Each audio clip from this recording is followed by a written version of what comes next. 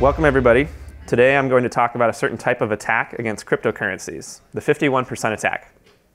Rather than making money by stealing the private keys of a particular owner of cryptocurrency, this attack undermines the integrity of the currency itself. My name is Mark Nesbitt.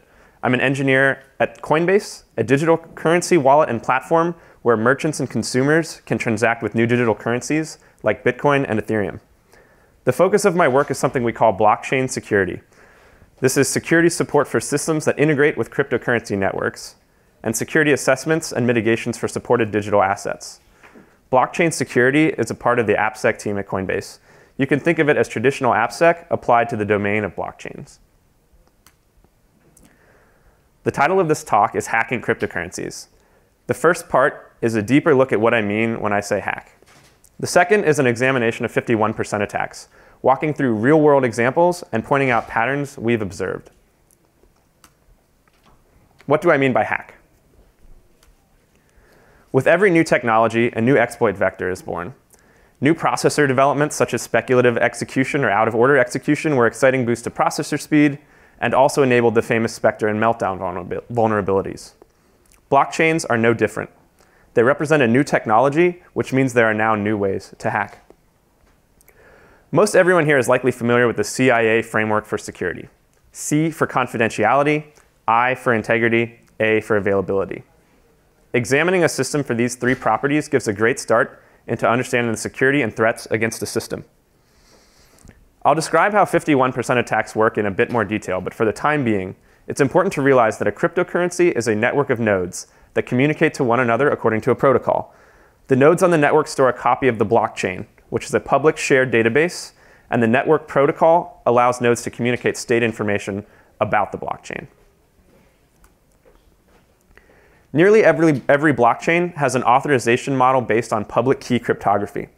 The state of data in the blockchain can usually only be updated when the proper digital signature is provided.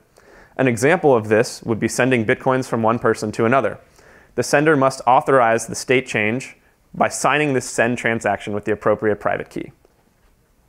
A wallet is a term for software that holds these private keys and performs this interaction with the blockchain. This means that wallets are separate systems built on top of blockchains. As you can realize, because the blockchain is a shared public database, anyone can choose to build a wallet application on top of a blockchain. So there are a wide variety of wallets. When you hear about cryptocurrency attacks, you're usually hearing about wallet hacks. As I said before, this talk is about attacking the cryptocurrency itself, meaning that it's not about wallet hacks. To help show that distinction, I'll briefly use the CIA framework to examine wallet security before applying that to the blockchain itself. Confidentiality, specifically confidentiality of private keys. As I said, the keys authorize transactions on the blockchain, so if the private keys are leaked, anyone can authorize transactions for actions controlled by those keys. Integrity. In addition to holding private keys, wallets also create the transactions themselves before signing them.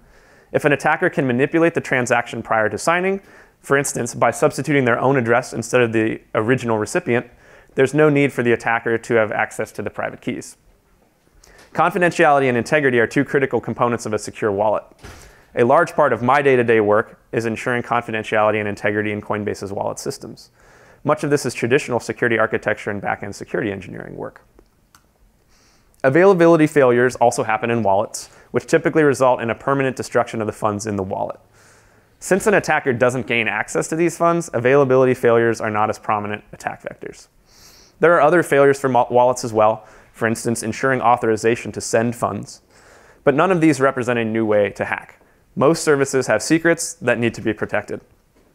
So as I said, this talk is not about wallets. It's about the cryptocurrency itself, a new way to hack. Let's see where the CIA framework can get us there. Confidentiality. I define the blockchain as a shared database. Thus, it's entirely transparent, and there essentially is no confidentiality. Jumping to availability. This is a concern primarily for the developers of a cryptocurrency. Most integrations with a cryptocurrency use software created by the designers called nodes. Concerns about the availability of blockchains have driven much of what's known as the scaling debate. A protocol design that makes resources required to run a network node too expensive may impact the availability of the blockchain, which is information that everyone needs to participate in the network. Integrity. Violating the integrity of a blockchain is the focus of this talk. This represents a new way to hack. 51% attacks violate a blockchain's integrity in a very clever way that takes advantage of how a cryptocurrency network maintains consensus on the state of the blockchain. As I mentioned before, I work for Coinbase, a major cryptocurrency exchange. Exchanges make an ideal target for all kinds of attacks, including and especially 51% attacks. Exchanges hold a lot of cryptocurrency on behalf of their customers. That's an obvious enough reason for them to be good targets. But beyond simply being where the money is, there are other things that are attractive to an attacker. Liquidity and volume. Most cryptocurrency exchanges allow trading between different types of cryptocurrency. Being able to trade one currency into a different cryptocurrency can be very advantageous, as I'll explain when I break down 51% attacks.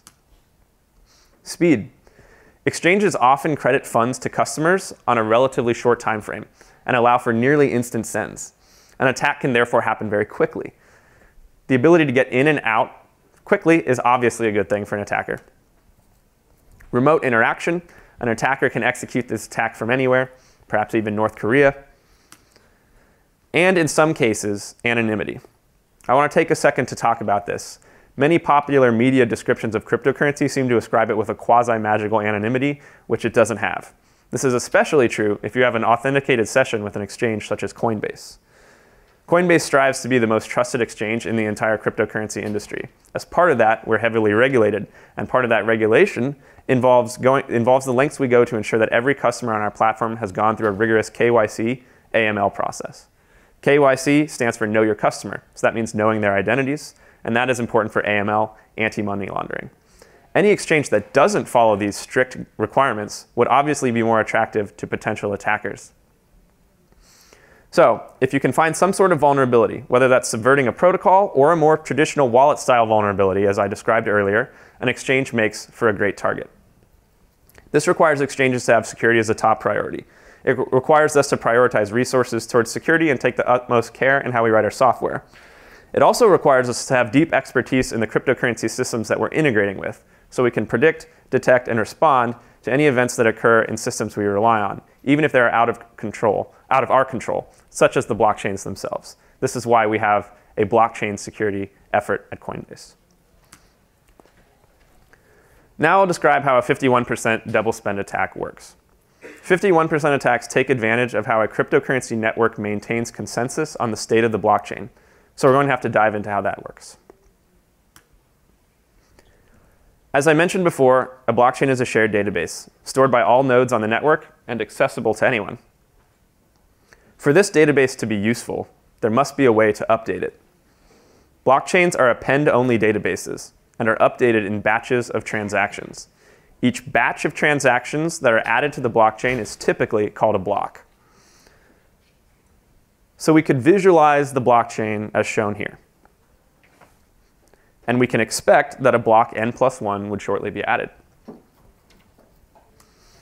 But who defines block n plus 1? How do we determine its contents? The blockchain is a shared distributed database, so this isn't obvious. Regardless of what the mechanism is, however, there must be some way of reaching consensus among the network participants about what constitutes the block. The answer for who defines the block is that it depends on the cryptocurrency. This is one of the major defining characteristics of cryptocurrencies, and a lot of newer cryptocurrencies have innovative methods for adding to the blockchain.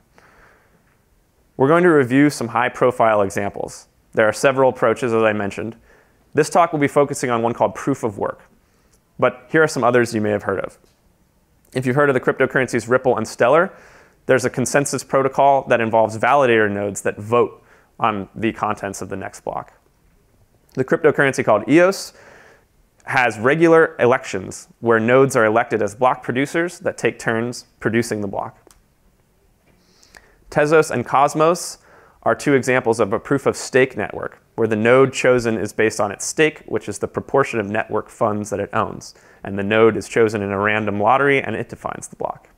And lastly, proof of work, Bitcoin and Ethereum. The node that first successfully solves a cryptographic puzzle defines the block. This is known as proof of work. It's known as proof of work because the solution to this puzzle has to be brute forced, which takes considerable computational effort. This is called mining. Mining a block is when a node successfully discovers the solution to the proof of work puzzle. Here is a key fact about proof of work networks. Anyone can bring their computation to the table, and if they produce a valid block, they have extended the blockchain. If you can do the work, you can play the game. No permission required. This diagram shows the blockchain tilted 90 degrees from the previous diagram, with the blocks separated. Block n plus 1 will be added on top of the other blocks. As before, each block contains some number of transactions on the cryptocurrency network. The green arrow represents the canonical blockchain, that is, the version of the shared database that all network participants agree represents the blockchain. Ensuring that all nodes can agree on a canonical blockchain is obviously a crit critical component of a functioning network. Suppose some node solves the computationally intensive cryptographic puzzle I described before.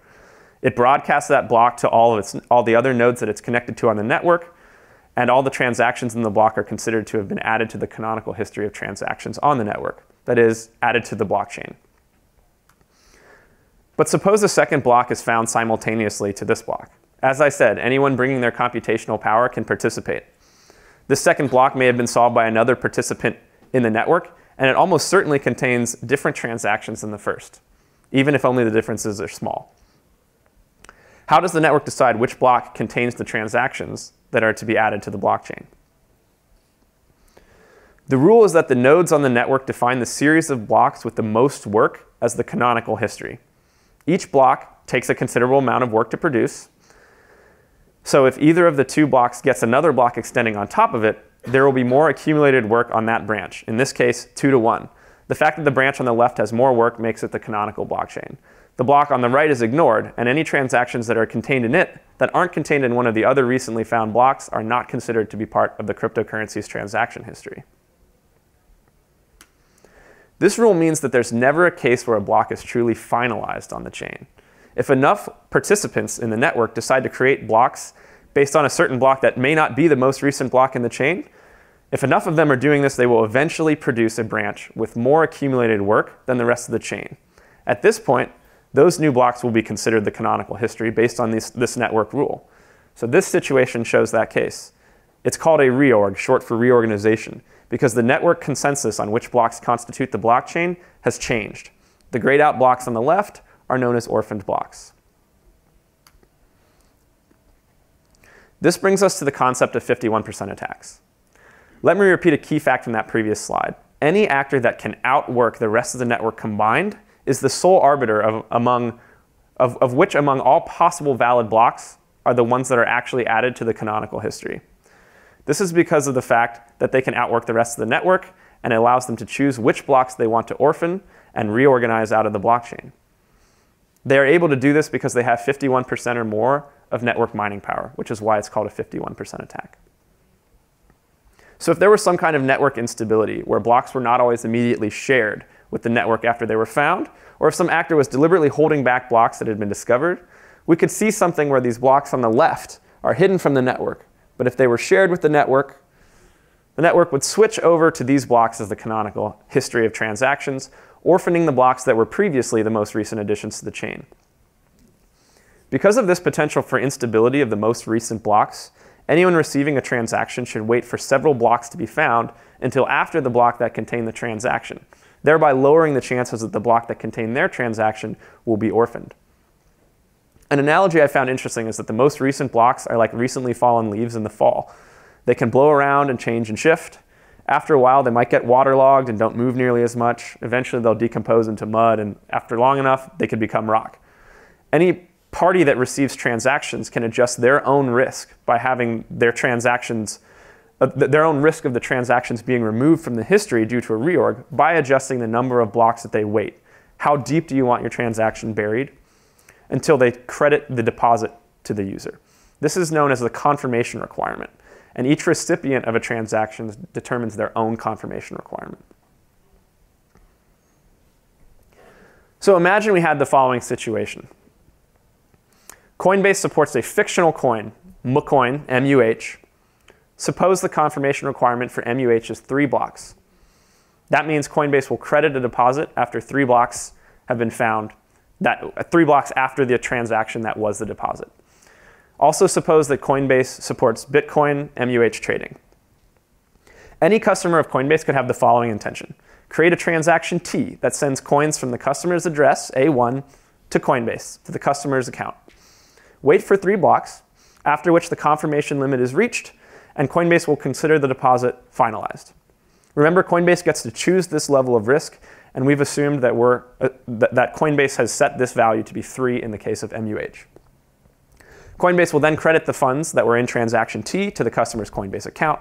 The customer could then sell that MUH for Bitcoin, and then they could send that Bitcoin wherever they like. This is a completely normal pattern of, of behavior for a customer to take, essentially exchanging their MUH for BTC. Let's imagine, however, that this customer is actually an attacker, an attacker with the ability to outwork the entire rest of the MUH network, 51% of the mining power. The attacker would create transaction T, sending some amount of MUH to their Coinbase account. Suppose T is quickly included in a block by some miner on the network, as shown here. Simultaneously, the attacker will create T prime, a second transaction. Let's take a closer look at T and T prime. Addresses with an A are attacker controlled, and address C is controlled by Coinbase. The attacker has funds in address A1. In transaction T, which is the public transaction that everyone can see, the attacker sends these funds to their Coinbase account, A1 to C. A few more blocks are mined eventually, and then Coinbase would credit these funds to the attacker's Coinbase account. In transaction T prime, the attacker sends those same funds in address A1 to another address that is attacker controlled, A2. T and T prime cannot exist in the same transaction history, since they both consume the funds at address A1. As soon as one of these transactions is accepted as valid, the network will consider the other to be invalid. The term for that is that T and T prime are double spends of one another. Same money being spent twice. But either transaction on its own is perfectly valid. The public blockchain includes version T, where the funds are sent to Coinbase, but the secret blockchain that the attacker is building contains T prime, where the funds never leave the attacker's control. So the attacker is building an, an alternative blockchain in secret. The public blockchain is the version that all network participants, including Coinbase, are able to observe. Crucially, in this secret history, there is no deposit of the funds in address A1 to Coinbase. So the attacker begins to mine the secret blockchain, including T prime. The space on the right with the gray background is local to the attacker, where the network cannot observe. And remember that we've assumed the, the attacker can outwork the rest of the network, meaning the attacker can produce blocks faster than the rest of the network. From the perspective of the network, nothing out of the ordinary is happening. Coinbase sees that a customer has deposited funds to their account. However, they won't be credited until there are three confirmations due to that three confirmation MUH requirement. The attacker does not sit idly by while waiting for these confirmations and continues to secretly produce blocks.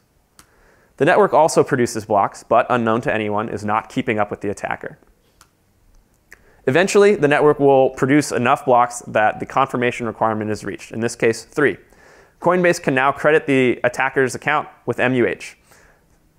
As, we described before, suppose the attacker will sell it, sells it for Bitcoin, which can then be sent off the platform.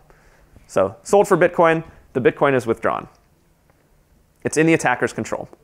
Remember, nothing publicly seen thus far is anything out of the ordinary, just a MUH to BTC trade. Now the attacker can execute the attack simply by revealing the secret blocks to the network. These blocks have more accumulated work than the existing top three blocks because there are four of them. Remember, the network considers the chain with the most work to be the canonical blockchain, so according to the network rules, a reorg will occur. The attacker's blocks now represent the canonical blockchain. The top three blocks that we'd previously seen publicly are now orphaned blocks. They're no longer part of the blockchain. The transactions defined in them are now no longer a part of the history. And notice the T was in, that, in those blocks, meaning there's no longer a transaction to Coinbase in the blockchain anymore. But the Bitcoin, as you can see, has still been withdrawn. There was a withdrawal without a deposit, a successful theft. Ability to do this is directly related to how difficult it is for an attacker to overpower the network. A key part of this was the assumption we made in the beginning that the attacker was able to produce more blocks than the rest of the network combined. Thus, the more work being put into solving the proof of work puzzles on the network at large, the more difficult it is for any single attacker to overwhelm the rest of the network and pull this off. Note also that the danger of this attack comes when the target accepts a deposit directly from the attacker. In this example, Bitcoin was provided in exchange for MUH. If the attacker can't get something irrevocable in exchange for the vulnerable coin, the attack isn't viable. This is one of the reasons that an exchange is such a great target for this attack, liquidity in cryptocurrencies. 51% attacks are easy to observe if you're watching for them. Each block is identified by a, unique hash, which is a unique fingerprint for the block. If the hash of a block at any particular height changes from what it was before, it means it's a different block, which means there must have been some kind of reorg. Small events, small shallow depth reorgs happen on a regular basis. This is primarily driven by the fact that many nodes are simultaneously attempting to find blocks, and there is some amount of latency within the network. So there will be race conditions where multiple blocks are found at the same time, but eventually only one will be built on by other miners and be part of the canonical blockchain. Examining the hash, that is the fingerprint, of the blocks at height n minus 1, n minus 2, etc., can give an understanding of how deep or severe a reorg was. Any reorg with a depth greater than the recipient's confirmation limit confirmation requirement is a situation where an effective double spend is possible. Remember, two transactions are double spends if they both spend the same money but to different places. They couldn't exist in the chain together, but they might exist in competing branches of the chain. That's the smoking gun that a reorg was malicious. Money that was sent to one place originally is effectively clawed back during the reorg. Let's summarize what an attacker would need to execute this attack. Remember, the attack is similar to bouncing a check. You send money to someone, they give you something in exchange, but then the original money is never actually theirs. The attack has two components. One, the ability to form a secret chain, which requires majority mining power. That is the ability to overwhelm the rest of the network's mining power. In the check bouncing analogy, this is what gives someone the ability to actually write a check that's invalid. You could think of it as having physical possession of the check from a real account at a real bank. You can't bounce a check without that. Two, the ability to create transactions T and T prime. The attacker will need some of the currency itself to do this, and the more coins the attacker has, the bigger impact of the double spend T and T prime. In the check bouncing analogy, this is like writing a really large check. The attacker also needs to select a victim. Obviously, the victim must accept the cryptocurrency. In the check bouncing analogy, the victim obviously has to allow the attacker to pay by check. But the victim also has to provide something of value that they cannot take back once they realize they've been scammed. With the check, this would be like cashing the check. The attacker gets cold hard cash and disappears with it. There wouldn't be much point to bouncing a check on something like the down payment of a house. This means that an attacker couldn't sell the cryptocurrency for US dollars and transfer those to a bank account. Not only is that likely to expose the attacker's identity, but the bank transfer can typically be reversed. Cryptocurrencies that aren't vulnerable to 51% attacks that is, ones that have enough mining power, however, can't be reversed. That's why cryptocurrency exchanges make such good targets for 51% attacks.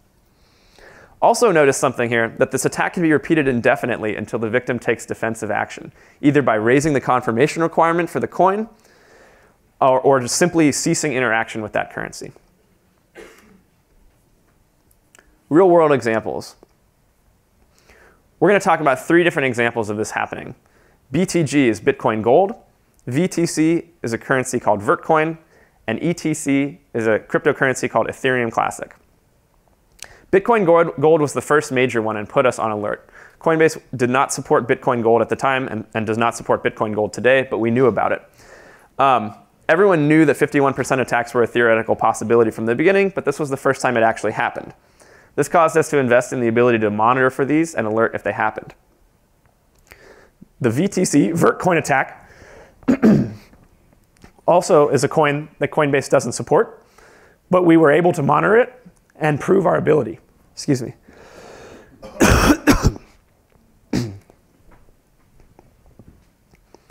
Ethereum Classic is a coin that is supported on Coinbase, and we observed this attack firsthand with our monitoring tool. We're going to dive into the Ethereum Classic attack. This was a year ago in January, um, so we're going to break down the different steps here. The Ethereum Classic Network is minding its own business, mining blocks as usual, adding transactions to the blockchain. And then all of a sudden, seven new blocks show up out of nowhere. And these seven blocks don't extend from the most recent block, but they dig five blocks down. up orphaning four blocks. It's very unusual for a miner not to extend from the highest block. So this type of reorg is unusual. 12 hours later, it happened again. Six new blocks orphaned five previously discovered blocks. I called both of these uh, incidents practice attacks because neither contain that double spend pair of transactions, T and T prime, where the same money gets spent to different recipients in different branches of the reorg. These instances were just reorgs, not double spends. We had observed reorgs, we had never observed reorgs of this depth on ETC, but it would be premature to label these as attacks just on their own, since they were not double, there were no double spends. However, three hours later, there was another reorg. 74 blocks showed up all at once, orphaning 57 blocks. In addition, a T and T prime were present in the two branches. As before, the attacker had funds in A1, address A1. In the public transaction T, they transferred those funds to the victim V, probably in exchange. In T prime, they transferred those funds to another tracker controlled address A2. This was on a Saturday night. Our monitoring system alerted, our on-call engineers responded, validated the alert, and disabled Ethereum Classic functionality on Coinbase temporarily. This protected Coinbase from the subsequent 21 reorgs that occurred during this attack. It protected us because we weren't crediting any deposits in Ethereum Classic. Remember, the one, one of the things required for this attack to succeed is the victim to provide something irrevocable to the attacker in exchange for the deposit of the vulnerable currency. Since we disabled Ethereum Classic, we weren't crediting any deposit, deposits, so we couldn't be attacked. Here are the details of the transactions for anyone who wants to review the slides later.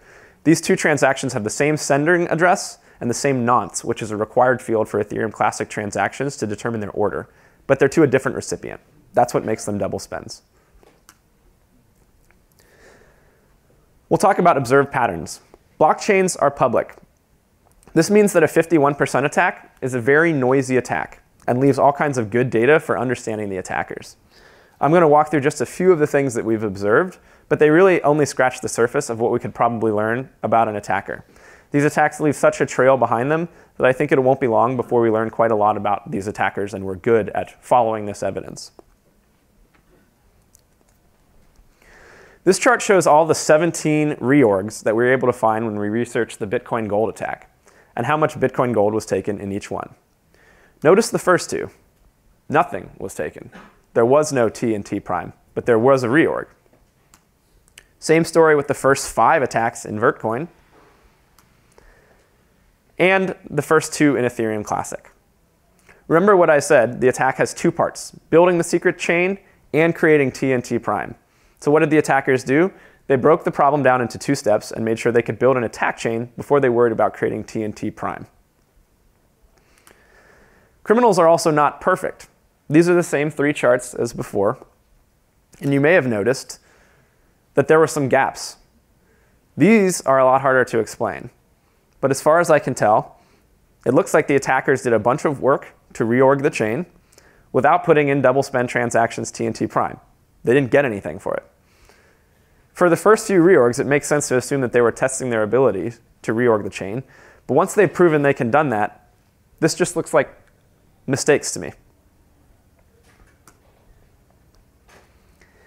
If you imagine yourself in the attacker's shoes, you have an interesting dilemma. Once you have the hash power to successfully attack the network, any additional resources you have should be directed towards owning more of the currency itself to make T and T prime bigger transactions so that you can get more in exchange when you double spend them. In other words, the cost of the reorg and the payoff of the reorg are not functions of one another. So as an attack progresses, an attacker starts to accumulate resources, successfully stealing from an exchange. Should these resources be reinvested or just taken off the table? In the Bitcoin Gold attack and most of the Vertcoin attack, attackers were mostly in exploit mode. They have X coins, and every time they perform a double spend, they'll get X payoff, and they repeat that as many times as they can. But in the Ethereum Classic attack, and oddly, in the first three Vertcoin attacks, reorgs, the attackers were in invest mode, this makes me think that in the, the Ethereum Classic attackers may have been planning to continue attacking because I would expect the optimal attack profile to, to conclude with a period of exploit rather than invest. It's also worth pointing out something interesting about the Ethereum Classic data. It steps up in pairs. The first double spend was for a tiny amount at number three, also probably a test. You can see four and five are of similar size, but then the size roughly doubled six, for six and seven, roughly doubled again for eight and nine, stepped up again significantly for 10 and 12. 11 looks like a mistake again. And it doubled again for 13 and 15, with 14 being another mistake. It seems that the attacker was balancing investing and exploiting. Bigger and bigger payoffs each time, but prepared to stop at a moment's notice, so also taking, off, taking money off the table each step. I think this is pretty clever. And All right, other patterns. High profitability. This is just the returns from the double spends alone of each of these three attacks. When attackers create a reorg, it means they're mining blocks, which means there's also a mining reward that they could sell. These figures don't even include that. So this is simply the cost to mine versus the amount that was double spent. Very effective, a lot of margin for error.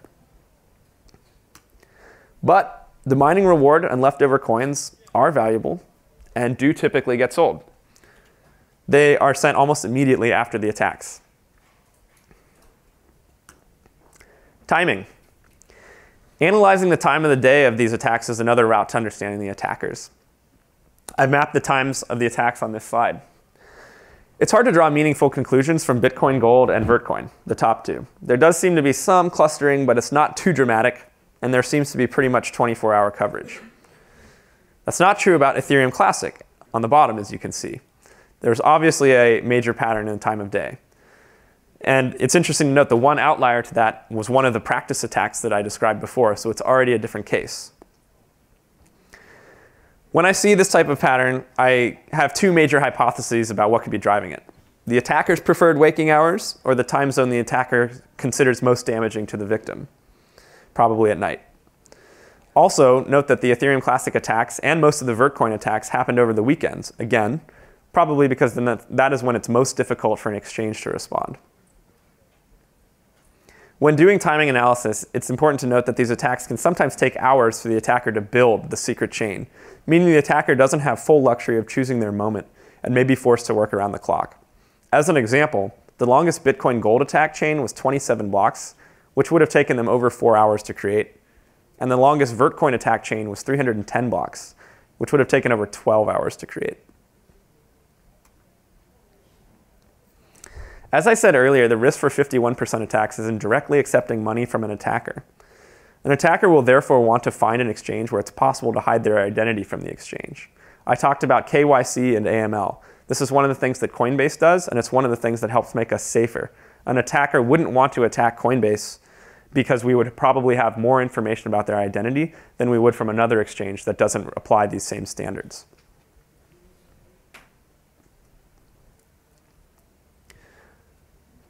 Another pattern we've observed is that attacks stop after they're publicized. This makes sense because, because anyone being attacked has the ability to respond, and it makes the attack less effective. The blue lines show when the attacks stopped, basically immediately after publication in all three examples.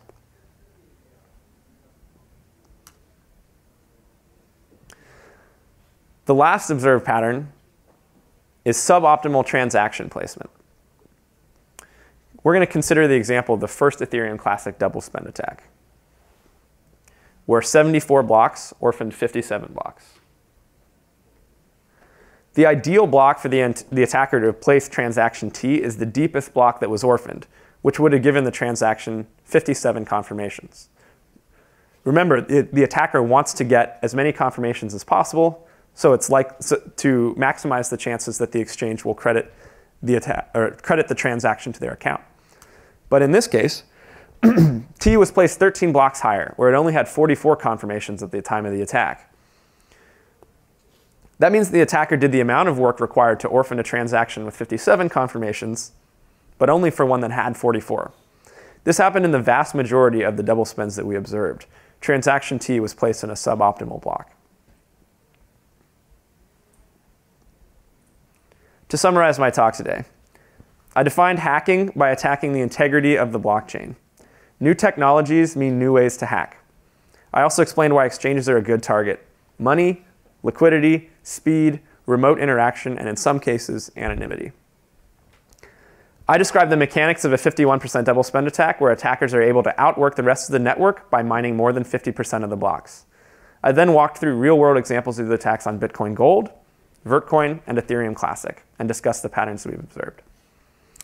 That's it. Thank you.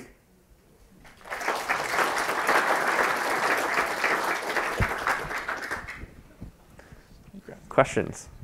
Yeah, I got a mic for you here. In these attacks, uh, good presentation, by the way. Thank you. Um, in these attacks, for each of the individual ones, are you seeing the, the same um, sender, or how many different, even in the trial in the uh, trial runs, are you seeing a different ID for the sender, or Uh, how many different ones?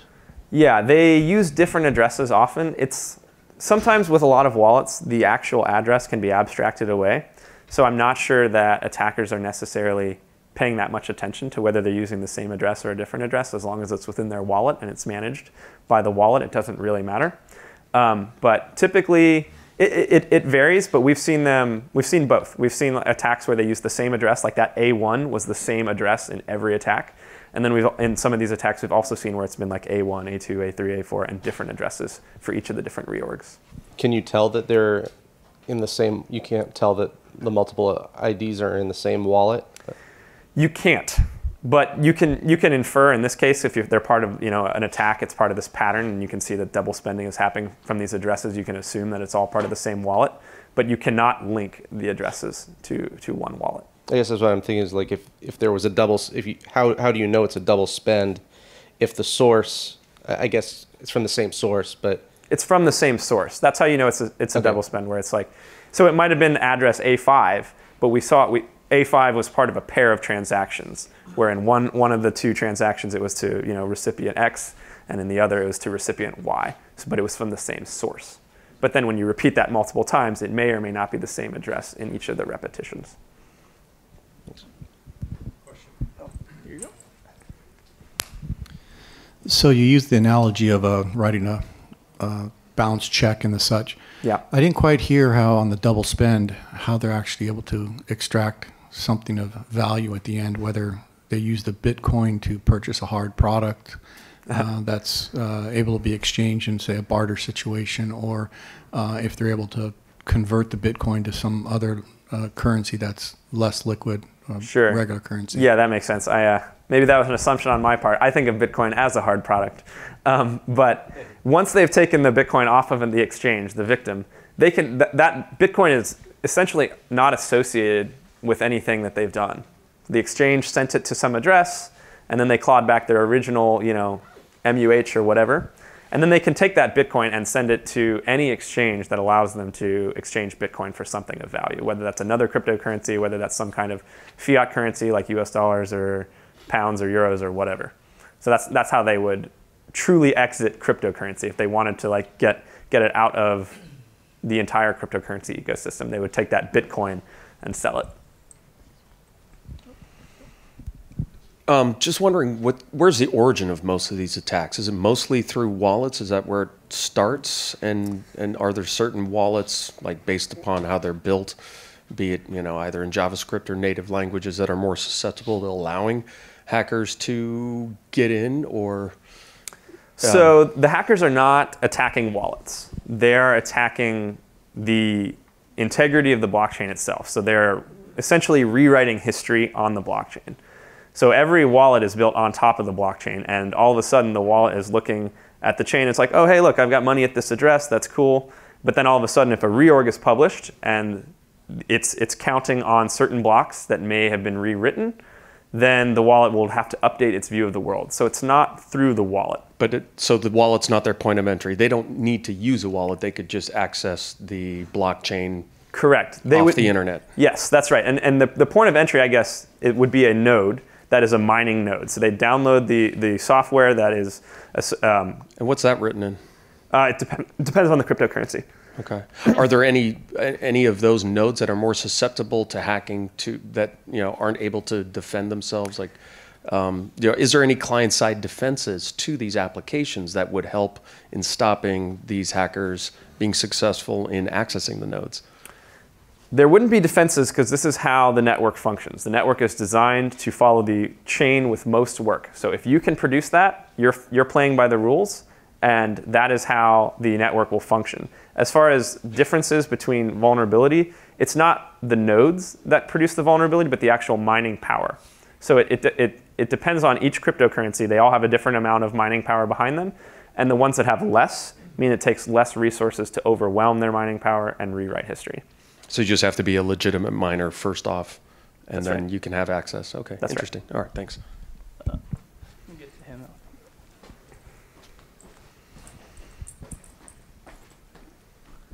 So in order to perform a 51% attack, you need considerable hash power, That's right. right? Yeah. And uh, there's also the value that you're going to get from that attack.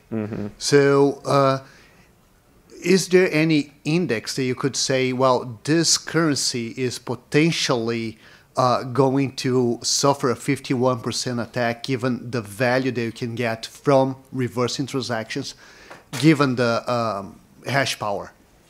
Yeah, you can you can run some some math where you estimate how expensive it is to overwhelm the network, and then you would have to make a trade with somebody else in that currency that you could reverse.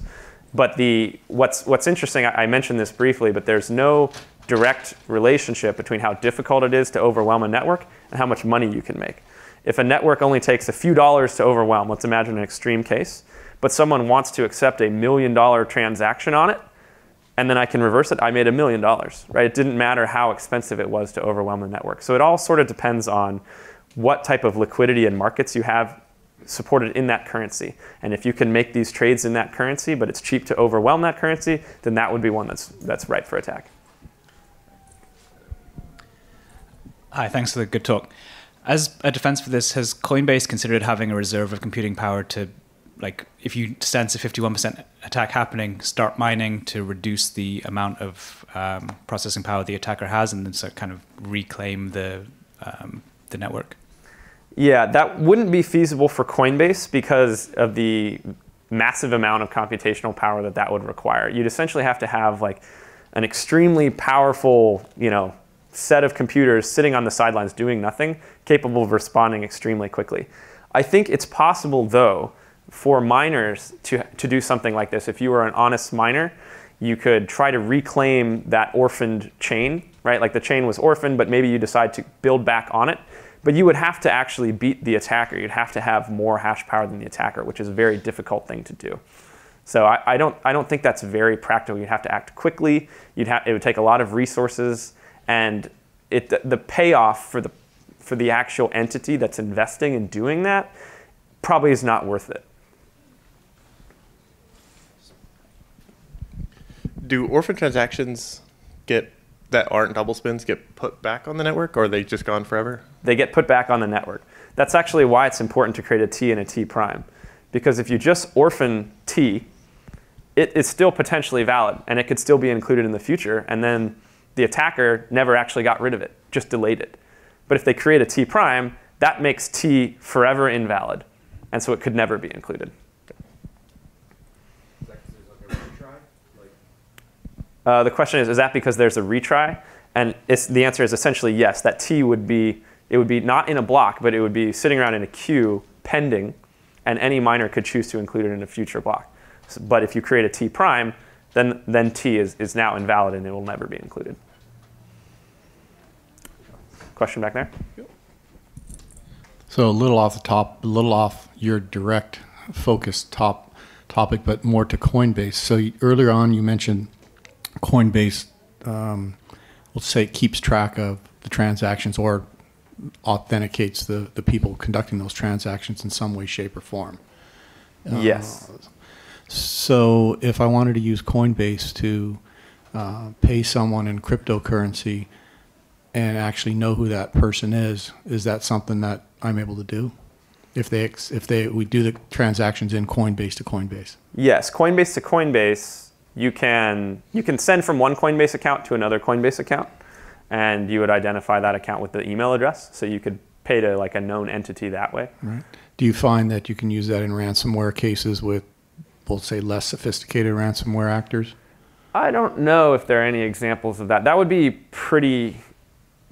That, that would be like a really bad mistake for a ransomware actor to do that. I, I'd be surprised if they actually made that mistake. They, they probably have their own wallets, and maybe there's an example of someone doing something really stupid, but I would, I would expect that ransomware actors have their own address, not associated with Coinbase whatsoever. That's what they use as their, as their address for all their uh, targets, and it really has nothing to do with Coinbase, and it's just the, uh, the cryptocurrency network itself that the money is flowing over. Um, do you have any idea, like approximately, like resource-wise, how much do these attackers spend? Or do, do they rent the mining equipment? Do they buy it? Or? Yeah, that's that's a good question. We we do we can estimate how much they spend because in a lot of cases the cost to mine is approximately the same as the rewards to mine. Um, so the rewards to mine are, are visible in the chain because that, that gets paid to miners. So you can estimate the cost with that amount. Um, so you can use that to kind of ballpark it. As far as where they get the computing power, uh, that's less certain. I, I think they probably can rent it though. And do you include like the cost of electricity in these? Like, what Yeah, if they hack yeah. these machines and don't actually pay for it? Right. It's it's mostly cost of electricity. I think. Any other questions?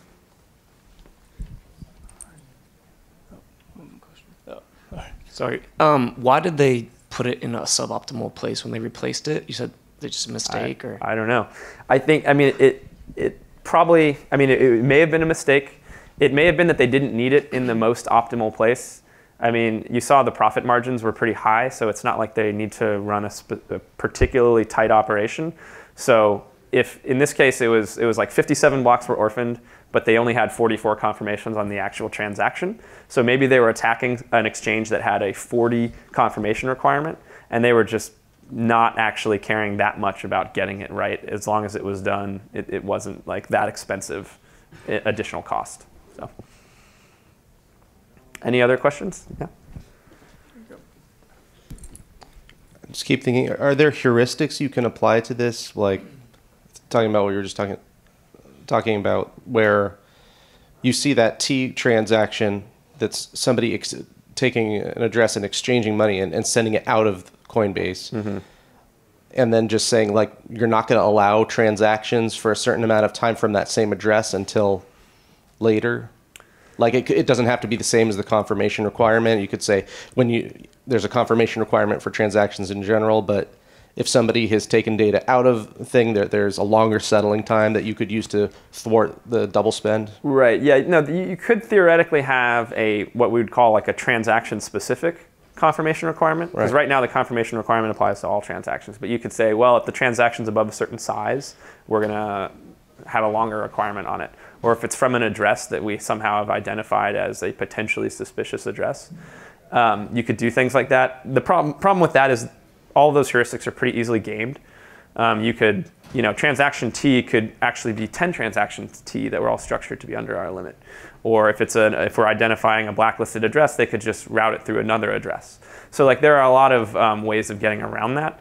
Um, the, the easiest, the, the best thing to do is if, if you see an attack going on, you just raise your confirmation limit across the board very high and you kind of ride it out that way. And, and the, the consequence of that is just the affecting the user experience of anyone participating in that cryptocurrency, which I think is sort of the appropriate place for the pain to be felt because it's an issue with that cryptocurrency. So if you want to use that cryptocurrency, well, this is one of the, um, the, the, the things that we have to do to support it.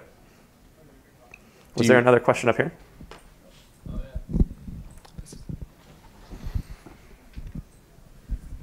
I'm always I'm curious about proof of work, especially for Bitcoin, because you know people talk about entire regions in China are used.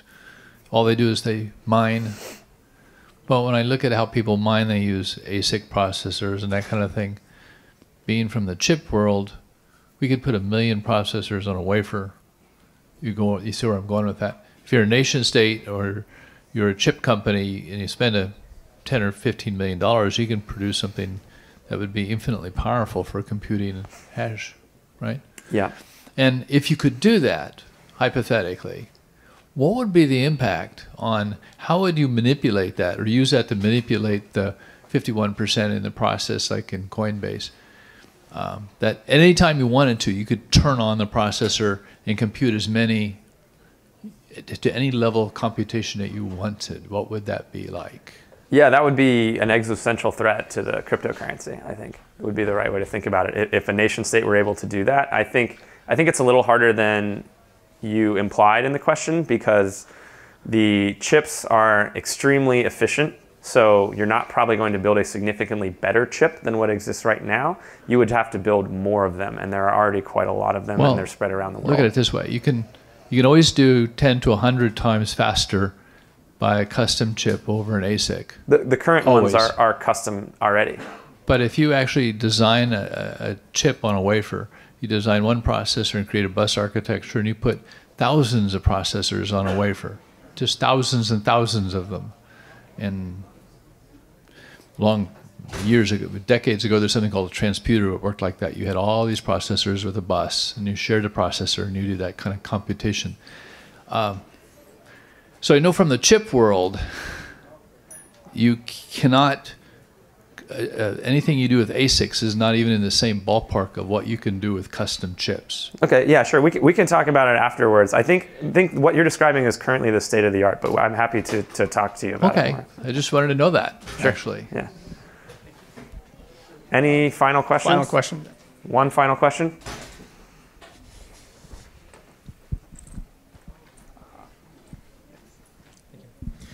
Um, from an enforcement point of view, if there is a double spend, everything goes on the ledger. So is there any you know work to like track where that money goes if it transfers wallets and you know different addresses and if it ever converts from digital to physical is there an opportunity to potentially go nab somebody Yes, there absolutely is. The problem is there, it's just too leaky of an ecosystem. I think to that you're you're, not, you're going to plug all the holes. Like maybe if, if they tried to exit through Coinbase, like we could observe them. But if it's just some exchange that gets run by, you know, a shady company somewhere, they're not going to be checking for that. They're probably perfectly happy to have that business. And so there are easy ways out of, of that system, even though in theory you're correct, you could track it all. All right, everybody, thank you for your attention.